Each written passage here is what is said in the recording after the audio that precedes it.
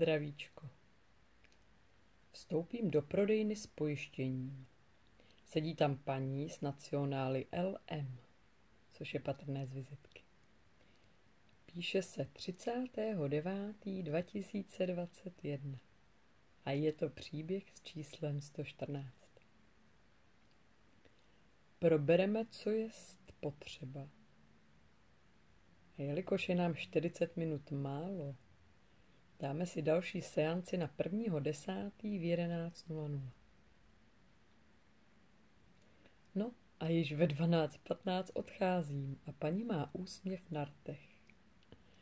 Více otevřenou hruď a cítí se lépe. Inu co víc si přát. A jaké návodné řešení měla a potřebovala? Za prvé, osobní mantru číst ji minimálně třikrát týdně. Za druhé, intuitivně vybrat dvě pozice z celé Fča pohybu, které jsou k dispozici na YouTube. Vybírat mohla mezi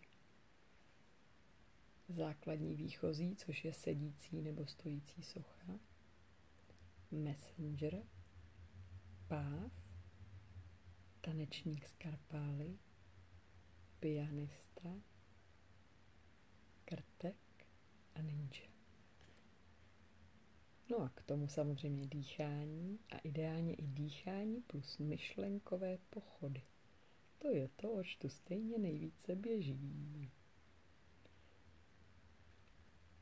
No a ideálně praktikovat minimálně dvakrát týdně. Za třetí, její vize je zhubnout. Takže jsme si dali za 3A, za 3B, za 3C. Takže 3A. Začít s odpouštěním. Je to základ pro to, ať se to může uvolňovat i na fyzické schránce. 3B pravidelně vypouštět vše, co nazbírá a že toho sbírá. Je to taková sběratelka.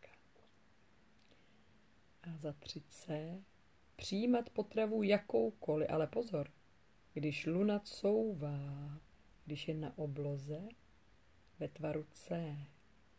A v případě, že je do tvaru D, tak dorůstá. A tím pádem oddělit živočišnou od rostliny. Ideálně má začít 1.10.2021 a skončit 31.12.2021. Poté se ozvat, jestli vše, co jí trápilo, je již vyřešeno. Ozvala se a je tomu tak. Hurá a děkuji za další probuzenou duši. A pozor, ve zdravém a dokonce i štíhlejším těle, protože jsme se potkali. Toť vše. Zdravím a za deset dní se těším u příběhu s číslem 115. Vanda Orlová.